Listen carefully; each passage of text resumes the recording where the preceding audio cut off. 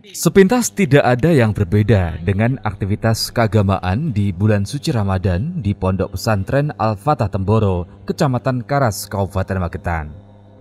Di Masjid Darussalam Terangkil, para santri dan masyarakat sekitar melaksanakan sholat berjamaah mulai sholat isya hingga sholat tarawih. Akan tetapi di lokasi Masjid Trangkil ternyata ada beberapa holako atau kelompok yang melaksanakan sholat tarawih jamaah dengan menghatamkan 30 juz Al-Quran. Selain jamaah dari santri pondok, jamaah sholat tarawih 30 juz ini juga berasal dari masyarakat umum. Ustadz Barli Musada, Kepala Madrasah Aliyah Pondok Pesantren Al-Fatah Temboro menjelaskan, sholat tarawih 30 juz sudah berjalan sejak lama. Hal tersebut didasari kecintaan para santri untuk membaca dan menghafalkan Al-Quran.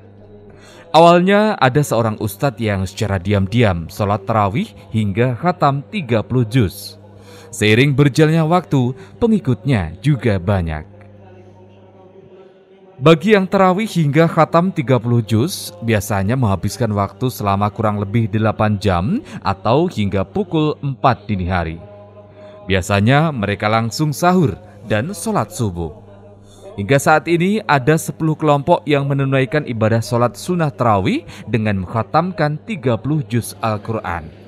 Ada ustadz lah, ada ustadz seorang ustadz senior yang ingin depannya dibuat lagi tambah banyak, tahun depannya dibuat lagi tambah banyak. Uh, mungkin kurang lebih sudah 10 tahun. Cuman awal-awal itu belum terlalu banyak peminatnya. Jadi hanya beberapa orang yang semangat, diam-diam dia melakukan membuat jemaah yang tarawehnya sampai 30 juz. Selesainya itu menjelang sahur. Kemudian seiring berjalannya waktu semakin banyak yang ikut, semakin banyak yang semangat sampai tahun ini insya Allah ada 10 kelompok 10 jemaah gitu, yang melaksanakan taraweh 30 juz. Untuk imam itu hafid memangnya? Untuk imamnya jelas melalui seleksi yang sangat ketat. Semua imam di Temboro ini harus seleksi bacaannya, tajwidnya, kharijul huruf, sifatul huruf semuanya. Uh, tapi ada kelebihannya yang 30 juz ini, imamnya rata-rata tidak hanya satu. Karena kalau satu orang membaca 30 juz sampai sahur itu sangat berat, akhirnya kita buat 6 imam satu orang nantinya hanya membaca lima juz.